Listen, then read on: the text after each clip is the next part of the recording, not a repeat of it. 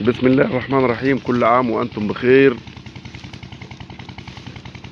معاكم أخوكم ممدوح أبو عبد المالك عشان خاطر هنحكوا مع بعض حكاية كبيرة خالص.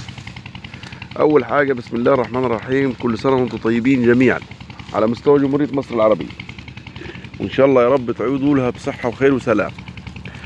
قناتي معمولة مخصوص للماعز البرجي والبلدي ليه؟ تسألني ليه ماعز برجي وبلدي؟ لأنها أكبر سلالة منتشرة في مصر على مستوى جمهورية مصر العربية لا يكاد يخلو بيت من بيوت آآ آآ آآ المصريين جميعا خاصة في الأرياف آه، من الماعز البلدي أو الماعز البرجي تمام كده إحنا على أول الطريق. طيب السلالتين دول بالذات جميع الناس ما بتتكلمش عنهم. كل اللي بيتكلم بيتكلم عن السلالة اللي هي مستوردة اللي هي البور والسنين آه، والشامي والشامي القبرصي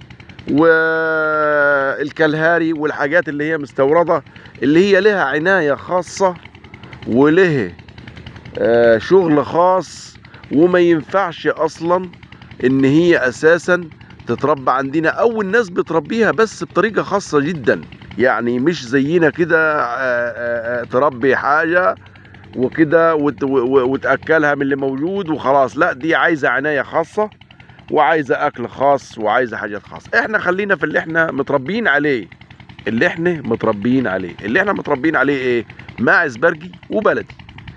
وهما الاثنين طبعا يعني يعتبروا سلالة قريبة من بعض جدا يعني. يعني البلدي والبرجي سلالة قريبة من بعض جدا جدا يعني. تمام؟ هنا إحنا بنتكلموا عنهم. شوفوا طريقة تربيتهم الصحيحة. شوفوا أكلهم المظبوط. نشوفوا طريقة العناية بيهم. يعني وإحنا بنفيدوا بعض. من الأول وفي الآخر. يعني في الأول وفي الآخر. آه إحنا بنفيدوا بعض. انت تستفيد وأنا أستفيد. واللي عنده خبرة يدي التاني بيه. بالمعنى الأصح يفيد التاني بيه. تمام؟ ده بالنسبة للماعز البرجي والبلدي.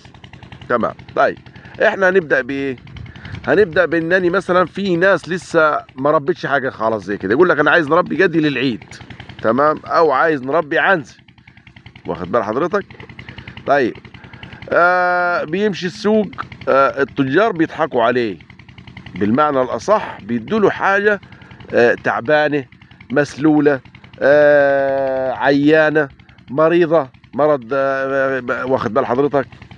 كده يعني. كبيرة في السن. فالمهم إن أغلبية الناس مش كل الناس عندها خبرة. مش كل الناس عندها خبرة. في ناس عندها خبرة وفي ناس ما عندهاش خبرة خالص. هنا التاجر بيستغل ال ال ال ال ال الناس اللي ما عندهاش خبرة.